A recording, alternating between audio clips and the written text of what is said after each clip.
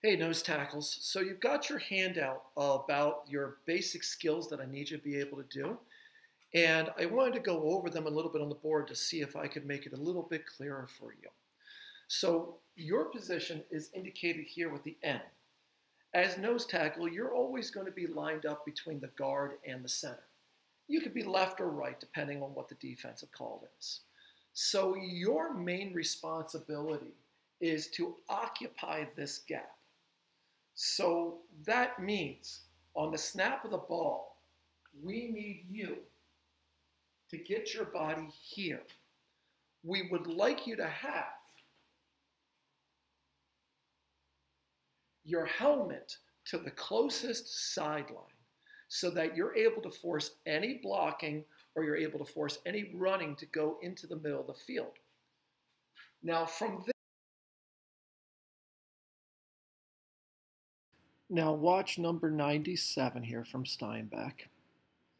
Not particularly a large defensive tackle, but I want you to watch the way he's going to get into his gap and he's just going to occupy the gap.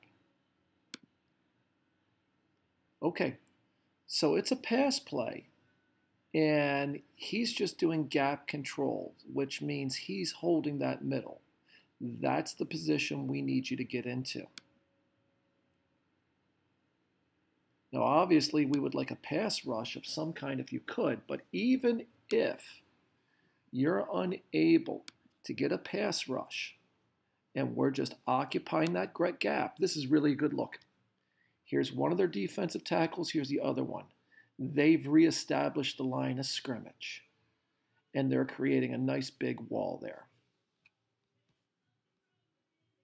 There, the offense could do one of three things you're going to be so close that you're not going to be able to see them in order to read them, but you're going to need to be able to react to these kind of blocks. Here's the first block you might see. You might get a reach block.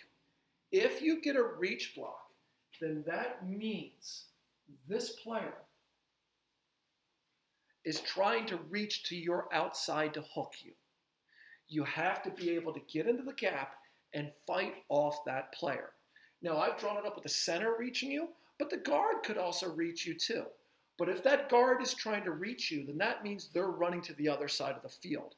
And even if your head is on the opposite side of where they're running, they really can't hurt us too much as long as you're in their gap. So, number one, you got to get into that gap.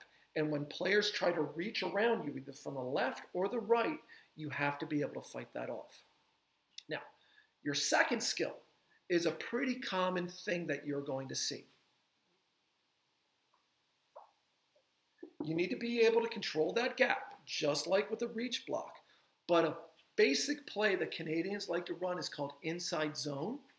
And on inside zone, the center and the guard will double team you. So that means two players are trying to defeat you. And this is why when we work on our skills, excuse me, the techniques to go with these skills, you have to control that gap low and hard. You cannot stop your feet because they will put two guys on you, and their job is just going to be to push you backwards. If you are not low to the ground and coming with your feet moving, uh, you could get run over. So, not only for what we need to happen with the defense, but your own safety, you must, must, must be in a low stance to the ground. Finally, the third skill I need you to be able to have is rushing the passer. Now, as you get across the line of scrimmage and you control that gap, you may find that they're not reaching you. You may find that they're not double teaming you. You may find that they've actually taken a step back. And they're setting up like this. That means it's a pass play.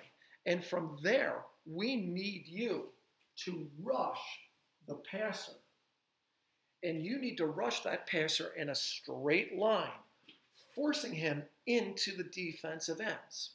Now, there may be times when the offense is in an obvious passing down, and Coach Lucier looks over and starts doing this.